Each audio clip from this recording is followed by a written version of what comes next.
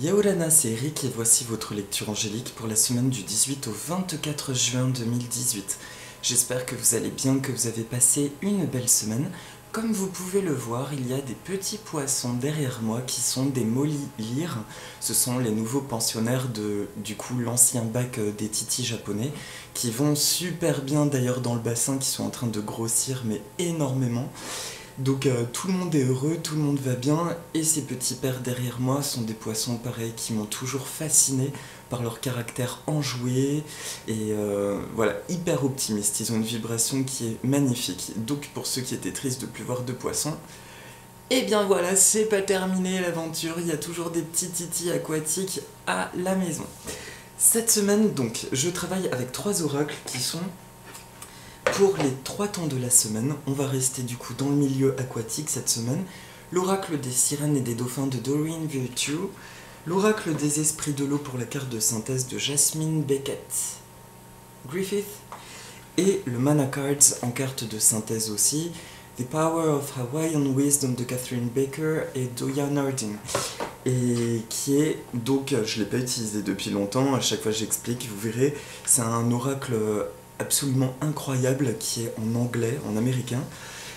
Mais euh, donc euh, il, vaut mieux, il vaut mieux comprendre un petit peu la langue, mais par contre qui délivre des messages ancestraux, qui est vraiment très tribal, ni ombre ni lumière, qui est juste essence même de la nature. Donc je l'affectionne particulièrement. Alors je vais tirer les cartes. Je demande à toutes les sources d'amour et de lumière de l'univers de m'envoyer un message clair pour lundi et mardi. Merci. Merci de m'envoyer un message clair. Ok, pour le milieu de semaine et pour la fin de semaine, oui. Merci. Ensuite, le Mana Cards. Merci de m'envoyer un message clair pour les, pour les trois temps de la semaine, pour la synthèse de la semaine. Ok. Et enfin, l'oracle des esprits de l'eau.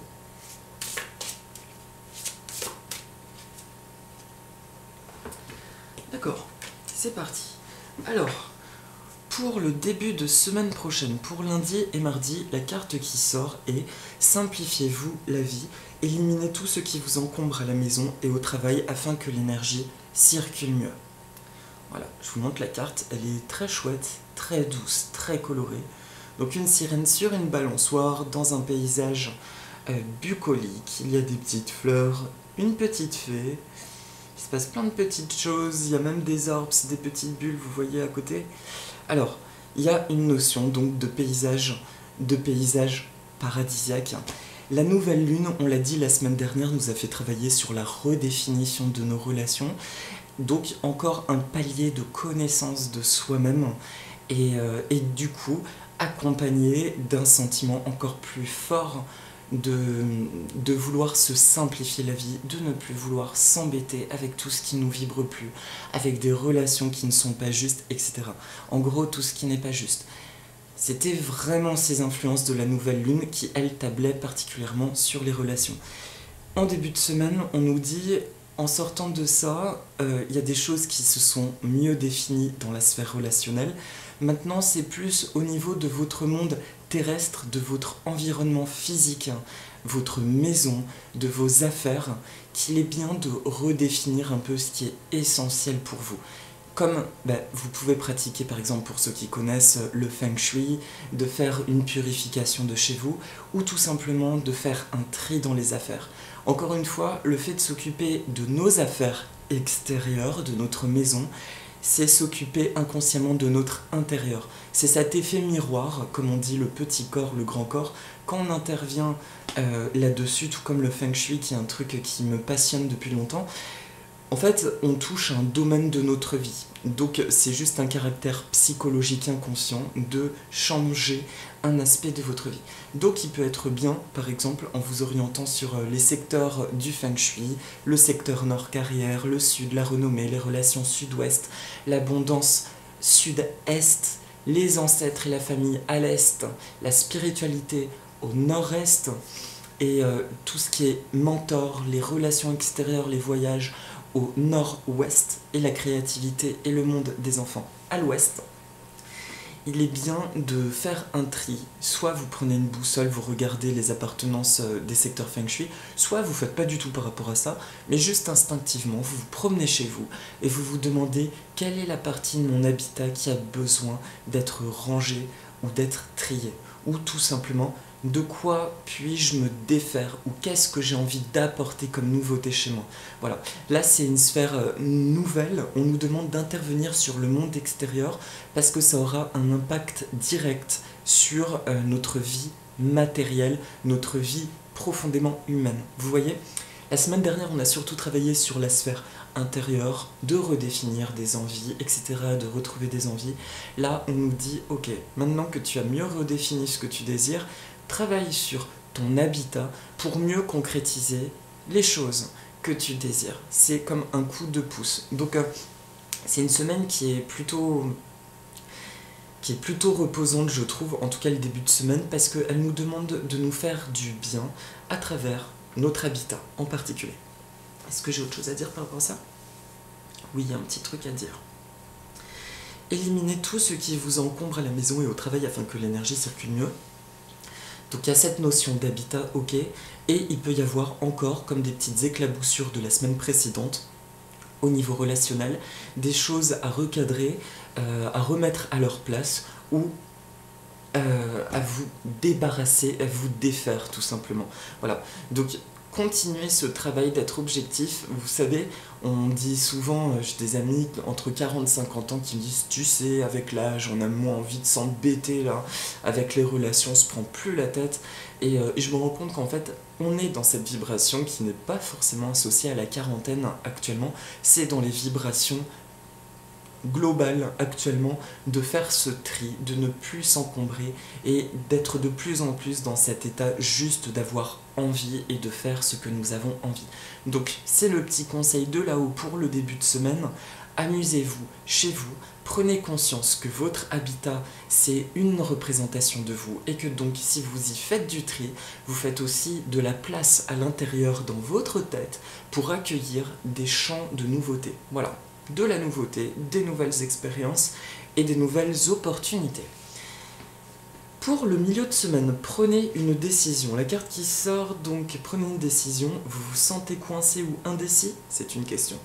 Écoutez votre intuition et prenez une décision. Voilà. Pour le milieu de semaine, là c'est un truc euh, que j'ai déjà dit, je crois, il y a environ un an. On revient dans cette vibration, bien sûr avec un palier différent, on a encore évolué, on a encore grandi. C'est la tendance spirituelle qu'on se dit je tire les cartes, j'écoute les anges, j'écoute mes guides, etc. On a tendance à vouloir finalement euh, remettre toutes nos décisions par rapport à là-haut et développer presque une petite paranoïa de oh, est-ce que c'est juste divinement si je prends telle décision, etc. Bref, c'est un petit travers que je pense qu'on a plus ou moins tous expérimenté à un moment donné. C'est que finalement tout devient signe où il faut, percevoir euh, une validation de là-haut pour chaque décision. Là, on nous demande vraiment de nous faire confiance. On est dans la semaine de, de découverte de soi pleinement à partir du moment où on dit que nous sommes faits à l'image de Dieu, il y a certes une force illimitée. Maintenant, c'est pas parce qu'elle est illimitée qu'elle est supérieure à nous. Elle est la représentation la plus belle de nous, tout comme nous, on dit que nous sommes faits à l'image de Dieu. D'accord? Symboliquement. Ça veut dire que là, nous sommes suffisamment préparés, nous avons suffisamment travaillé, nous avons suffisamment déblayé les parasitages, euh, les filtres, les peurs, les croyances, pour pouvoir nous faire confiance et nous honorer. Donc c'est comme un exercice qu'on nous demande la semaine prochaine. Vous faites un bilan de là où vous en êtes actuellement dans votre vie, quel que soit l'aspect professionnel, relationnel, etc. Vous demandez donc qu'est-ce que vous voulez vraiment, le travail qui a été fait plus ou moins la semaine précédente, notamment sur les relations, vous demandez ce que vous voulez réellement, et là, vous prenez une décision, mais en lien avec votre cœur. C'est un petit exercice qu'on nous recommande de tester la semaine prochaine, de prendre une décision sans chercher la validation de là-haut, juste en écoutant ce qui se passe dans notre corps. Et je l'ai déjà dit aussi, quand vous avez une décision complexe, imaginez Si vous répondez oui à la situation, comment vous vous sentez dans votre corps? Si vous répondez non, comment vous vous sentez dans votre corps? Il y a une des deux réponses pour laquelle vous sentirez une espèce de joie, d'évidence, et l'autre pour laquelle vous ressentirez des petites tensions, un truc, ah non, ça me convient pas. Et ça, c'est particulièrement efficace dans les relations, parce qu'on a tous des relations qui sont plus ou moins nourrissantes, et quand elles sont pas nourrissantes, rentre en compte plein de paramètres de « ah oui, mais je dois, parce que telle personne m'a tellement apporté à un moment donné », oui, mais bon, aujourd'hui, elle m'apporte vraiment pas et en plus, elle me fait pas du bien, etc. Donc, c'est vraiment intéressant d'expérimenter ça et d'être intransigeant avec vous-même.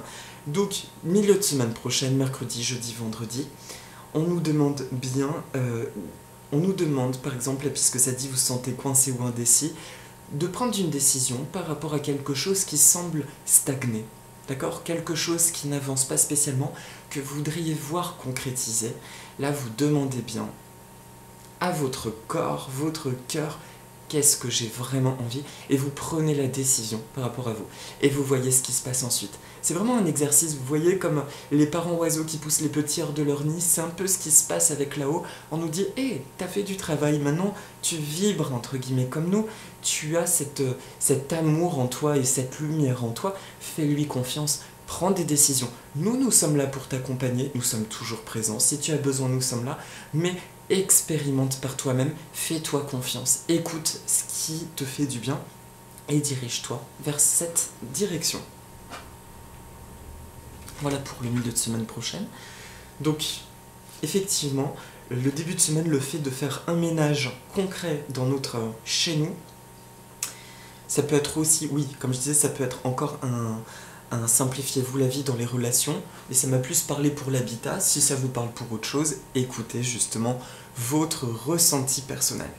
Prenez une décision au milieu de semaine, et le week-end prochain, recueillement, par passer du temps seul à méditer sur les choses que vous désirez vraiment. Alors, là, il y a une double lecture. Le perroquet, là, il évoque... Bon, déjà, la sirène, elle est hors de l'eau.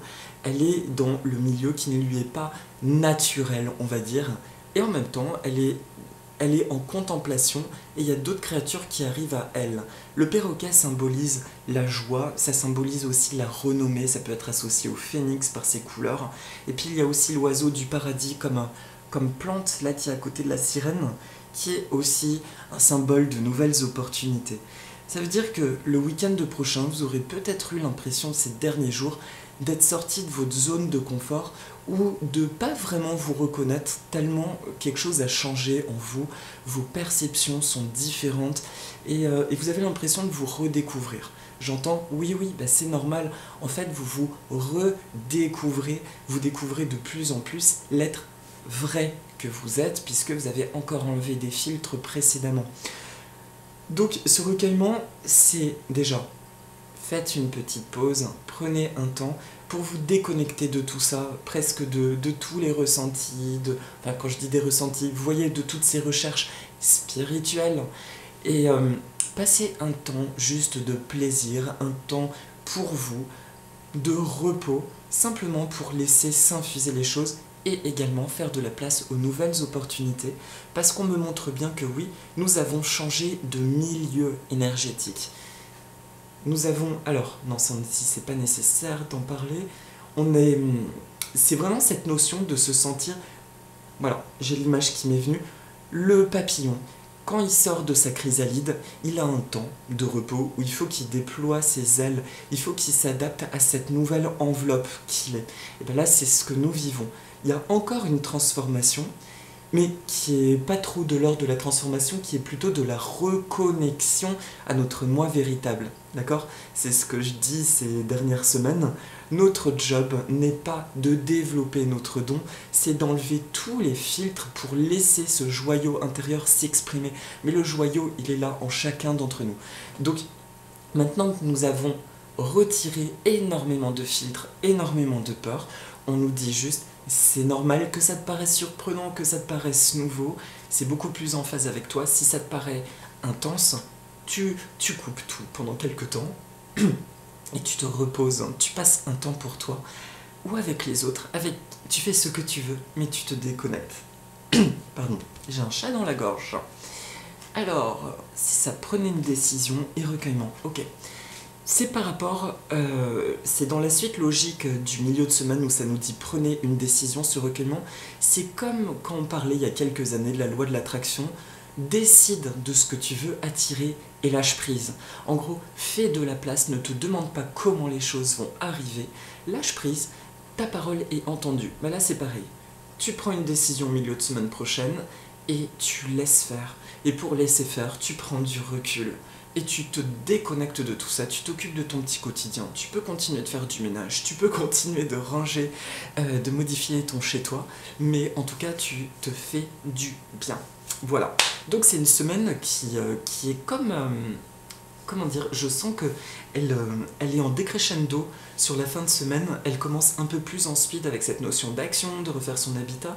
Ensuite, on nous demande juste de nous faire confiance, de faire le bilan sur ce qui est un peu en stand-by dans notre vie et de prendre la décision de qu'est-ce qu'on veut vraiment attirer. Et en fin de semaine, de lâcher prise en passant par des activités qui nous font du bien et qui nous permettent juste de penser à autre chose. Donc vous voyez, après, c'est comme un temps waouh de repos. on s'apaise. Pour la carte de synthèse de la semaine, la carte qui ressort, c'est l'Amaku. Alors là, ah bah, j'allais dire, il n'y a aucun symbole qui me parle vraiment. Et au moment où j'ai dit ça, il y a un truc qui m'a parlé. Regardez ce monsieur, regardez son buste. c'est un peu flou là. Il a un soleil au niveau du cœur. C'est l'être nouveau, en fait, avec sa torche de savoir, sa torche donc d'action, sa nouvelle lumière qui est gouvernée par son cœur, tout simplement. Et là, c'est un cocotier.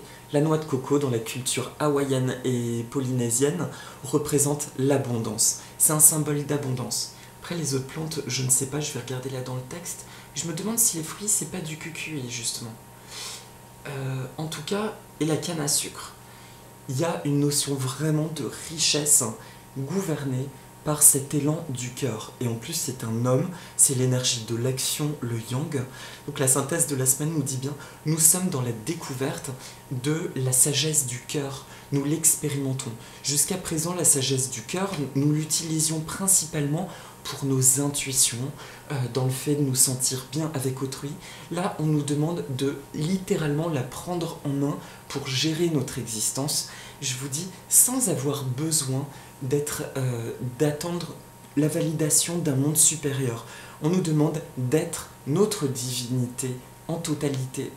Quand je dis divinité, ça veut dire la partie de soi qui est la plus belle, la plus lumineuse, qui est dans l'amour, qui sait ce qui est bon pour nous, celle qui nous envoie les envies, les désirs du cœur et, euh, et les relations, on va dire, véritables à la vie. Voilà. Donc je vais quand même regarder donc, le livret, ce qu'ils disent à propos de l'Amaku. L'Amaku, alors vu que c'est en anglais, vous allez me voir faire un i, euh, traduire un petit peu. On va voir ce que ça va donner. Alors, l'Amaku, Victory, la torche. L'Amaku Okana Aouao. Ah tiens La torche de sagesse. Cette torche signale la joie et la victoire. Ah, eh, je me suis pas trompé. La torche qui était euh, précocement euh, brûlée par les Hawaïens était séchée avec du cucuy, des noix de cucuy, enfermées dans des feuilles de tille, je connais pas, et euh, maintenue par une tige de... Ah, c'est du bambou, c'est pas la canne à sucre. Cucuy the state tree. Le cucuy est un arbre euh, d'usage à Hawaï parce qu'on l'utilise pour de nombreux usages ainsi que pour l'esthétique. C'était utilisé pour la lumière, pour la navigation, la médecine, la divination et plein d'autres rôles.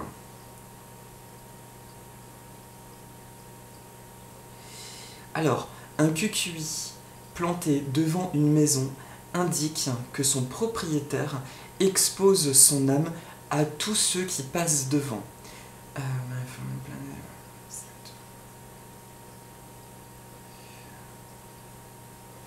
le kikui représente l'esprit qui se révèle lui-même, l'illumination.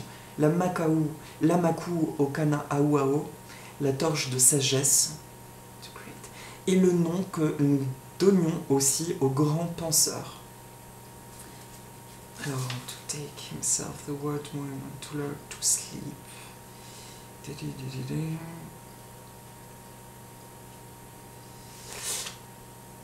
Alors l'amaku symbolise donc la joie et la victoire face à tous les obstacles qui diminuent notre sagesse d'illumination.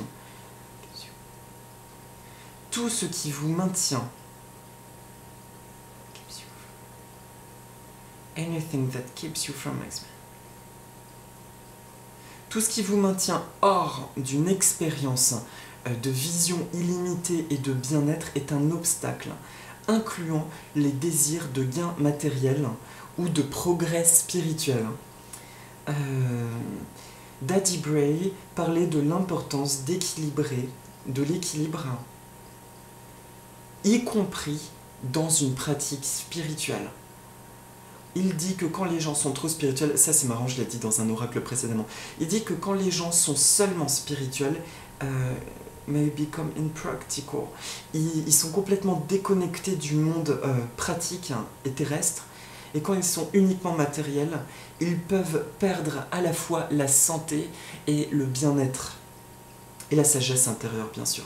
Donc l'Amaku nous encourage à célébrer le monde matériel sans cependant euh, s'accrocher à lui, de développer sa spiritualité sans perdre la touche, euh, le contact avec les mondes naturels et matériels. Ceci va faciliter euh, un équilibre, un état d'équilibre qui permet à notre lumière intérieure ou kukui, c'est marrant, la lumière intérieure, on l'appelle aussi kukui comme la plante, du coup la noix, de circuler à travers le pouai, le cœur, euh, et de transformer l'équilibre biologique, émotionnel et les énergies mentales en une énergie d'amour universelle. Donc, et de transformer la biologie personnelle, émotionnelle et mentale, et les énergies, pardon, oula, je m'embrouille, hein.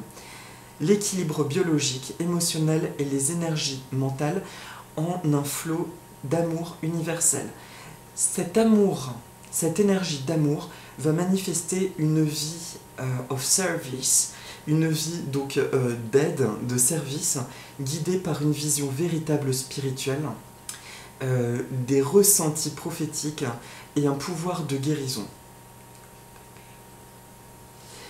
Ainsi, nous devenons beaucoup plus conscients, nous prenons plus, nous faisons beaucoup plus attention à tout ce qui nous entoure, aux idées nouvelles et aux personnes qui peuvent nous sortir de cette balance, de cet équilibre intérieur ou de nous attirer vers euh, des extrêmes négatifs, euh, positive emotional states, ou de nous, de nous déséquilibrer, mais ils disent bien aussi bien dans un excès positif que négatif. C'est ça qui est intéressant. Approchez tous les obstacles avec un cœur ouvert et vous pouvez être sûr que vous en sortirez victorieux. On est en plein, je trouve, dans, dans ce qui s'est dit, puisque le début de semaine, on nous parle de matérialité, de travailler sur notre habitat, sur nos affaires, de faire un tri, après de prendre une décision, donc de faire confiance à notre cœur et de ne pas être tout le temps dans la, dans la validation spirituelle de je sors mon pendule, je tire les cartes, de savoir si c'est juste, et à la fin, du coup, il y a cette notion de recueillement. On nous demande du coup vraiment, là, cet équilibre. On a encore super bien travaillé au niveau de l'âme, au niveau spirituel. Et là, on nous dit vraiment d'expérimenter la vie sur Terre sans peur parce que à partir du moment où nous sommes dans cette sagesse de cœur, nous sommes bien entendu complètement protégés. Et ça, je parle en connaissance de cause parce que vous savez, pendant longtemps, euh, je me sentais en fait complètement protégé par là-haut. Mais du coup, les relations avec les humains m'étaient très difficiles. J'avais l'impression de, de me sentir agressé dès que je sentais du jugement ou ce genre de choses. Et dans ma vie intérieure, ça allait, mais pas le monde des humains. Et j'ai vraiment ressenti ce truc-là à un moment donné où on me disait, mais ce qui est en haut est comme ce qui est en bas vraiment. Donc si tu fais confiance là-haut, fais confiance à la vie. C'est à l'image de l'amour divin aussi. Donc il n'y a aucune raison que ta vie matérielle ne soit pas aussi belle que ta vie spirituelle. Voilà. Donc c'est une validation Cette semaine, soyez votre guerrier de lumière, faites confiance à votre cœur. Il, il s'est suffisamment ouvert, suffisamment de peur, d'angoisse se sont dissipées pour pouvoir maintenant s'exprimer et prendre des décisions par elle-même. Donc, on tente le truc cette semaine C'est notre petit test. Milieu de semaine prochaine, une décision qui est complexe. On s'engage à écouter ce que nous, nous ressentons en se reliant à notre partie la plus belle et de se dire mais qu'est-ce que je veux vraiment? Et je peux demander là-haut merci de m'aider à concrétiser, mais par contre j'essaye de ne pas demander s'il vous plaît merci de valider, est-ce que c'est juste la décision que je vais prendre, etc. Voilà, juste de faire confiance entre, en cette sagesse intérieure. Et la carte de la semaine des esprits de l'eau, c'est la sirène Ré Manta. Là, par contre, je vais pas m'embêter. La Ré Manta m'évoque aussi un oiseau, donc ça c'est quand même le petit truc. Donc ça m'évoque aussi la notion de liberté, d'envoler. Alors je vous montre la carte pendant que je lis. Donc, les contes issus des profondeurs de la nuit dépeignent une lumière des plus défavorables à l'égard d'un être mystérieux et céleste, gracieux tel un oiseau en envol, souffre douleur pour, les victimes en mer. Tu es responsable des navires engloutis, pourtant la peur et la diffamation ne peuvent freiner ta curiosité charmante. Une sirène à la queue enroulée mène un groupe de manta majestueuses dans une mer étonnamment bleue. Elle est assez réfléchie pour faire confiance aux créatures intelligentes et se lier d'amitié avec elles, malgré leur réputation d'individus violents. Alors, tenez votre langue, c'est ça qu'on dit de lire. Vous allez très bientôt découvrir des informations surprenantes concernant un membre de votre famille ou une connaissance. Bien que cela soit tentant, vous devez résister à la tentation de faire circuler des ragots. Étant donné que vous n'avez pas toutes les informations en votre possession, il est possible que la situation soit déformée. En tous les cas, cela ne vous regarde pas. Alors, je ne comprends pas trop pourquoi on m'envoie cette information, pourquoi on nous dit ça, mais du coup, bon, bah, c'est apprendre tel quel. Euh, c'est marrant parce que là par contre le texte me parle pas du tout. Ça peut parler à certains. Bon, il se pourrait donc que vous appreniez un truc, que nous apprenions un truc surprenant sur quelqu'un. Alors essayons de garder ça pour nous, de se rappeler comme les accords Toltec, on ne fait pas de suppositions, chacun son affaire, chacun son histoire et tout va bien. Et pour, euh, et pour l'image, vous voyez, j'ai une vision encore plus poétique. Moi, ce que ça m'évoque, c'est un horizon nouveau. Et ce que j'entends en voyant la carte, de mon interprétation par rapport à ce qu'on a vu, c'est la notion de migration. Il y a une notion de migration vers de nouveaux horizons, avec de nouvelles énergies qui nous accompagnent et qui sont en réalité les énergies de notre cœur. D'où l'impression d'être comme différent, nouveau, de pas forcément se reconnaître, de se sentir hyper bien, mais de pas comprendre cette, euh, cette énergie nouvelle en nous, quoi. C'est ça que m'inspire la carte, cette sirène. Elle, elle a une nouvelle famille d'âme, une nouvelle famille de cœur, et elle se dirige, elle migre vers un horizon qui est beaucoup plus approprié pour elle. Ça peut signifier aussi une énergie de déplacement, de déménagement. Pour ceux qui sont en train de déménager, je pense qu'on vous envoie le signe pour certains d'entre vous que c'est une vraie bénédiction. Faites confiance justement à l'énergie de votre cœur. Voilà. Sirène Renanta. Ouais, c'est la notion de voyage intérieur et en, gros, les actions que nous menons là, elles nous emmènent, on se disait ça avec un copain, on sait pas où on va, mais alors là, on sent vraiment que ça bouge, même si tout n'est pas palpable, ça bouge dans beaucoup de sens. Donc, écoutez cet élan de votre cœur et faites confiance. Voilà, énergie du voyage. Euh, est-ce que j'ai autre chose à dire? Ok, Bon ben voilà, je vous remercie. Euh, c'est terminé pour la guidance et je vous souhaite une très belle semaine. Et pour ceux qui ont envie de continuer, nous faisons la mini-méditation. Donc je vous propose une, profonde inspiration. Et là, nous étions dans les énergies océaniques. Et je vais demander à mes nouveaux petits partenaires, mes petits mollies s'ils veulent bien se joindre à nous. Parce que ce sont des poissons aussi qui vivent dans des estuaires euh, donc en eau saumâtre, ils peuvent aussi bien vivre en eau de mer qu'en eau douce, donc ils sont bien reliés à l'énergie de l'océan. Je vais leur demander, si vous voulez bien, merci de nous accompagner durant la méditation et nous transmettre des messages euh, de la mer pour guider cette méditation. Voilà. Alors je vous propose de prendre une ou deux inspirations profondes. Alors là, c'est très simple. J'entends juste de vous immerger dans l'eau. Si vous avez envie, vous mettez la tête sous l'eau, sinon vous restez hors de l'eau, mais vous vous connectez juste à l'énergie d'un océan profond, euh, d'un bleu vraiment indigo, voilà, mais qui n'est pas oppressant, une eau qui est chaude, vous vous sentez à l'aise, vous vous sentez bien dans cette énergie. Voilà, vous respirez deux, trois fois. En vous reliant à l'énergie marine.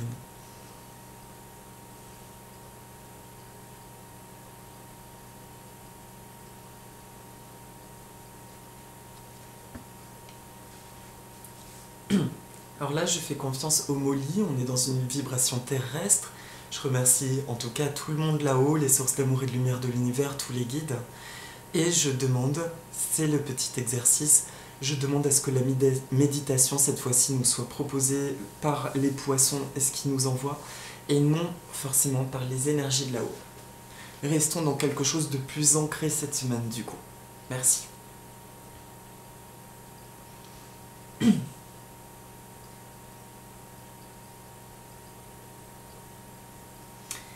Je respire la joie.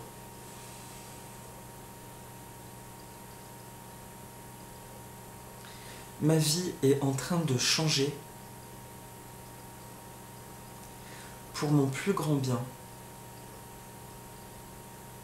et le plus grand bien de tous.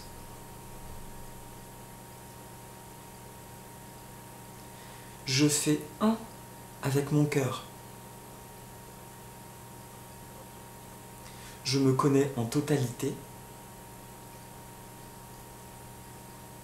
avec mes qualités et mes défauts.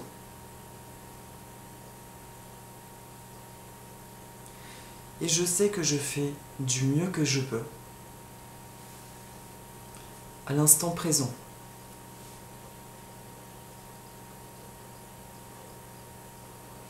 Je connais mes parts d'ombre et mes parts de lumière. et je me sens parfaitement équilibré. Quand quelque chose ne me plaît pas ou ne va pas,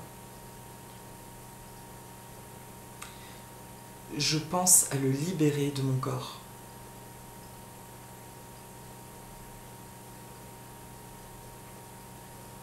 et de mes champs d'énergie.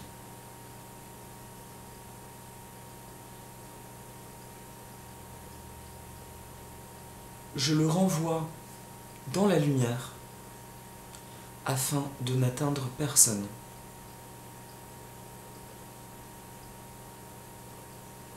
Mais si j'ai besoin de crier, je crie. Si j'ai besoin de pleurer, je pleure. Si j'ai besoin d'exprimer ma vérité, je le fais. avec amour et respect.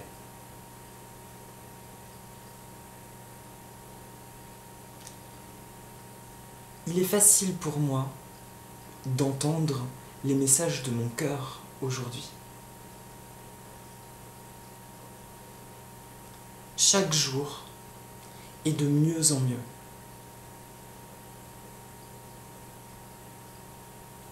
Chaque jour, j'expérimente encore plus de joie, de bonne santé, de créativité, d'amour et d'abondance illimitée. Tout va bien dans mon monde. Je pose avec facilité des actions que je ressens moi-même.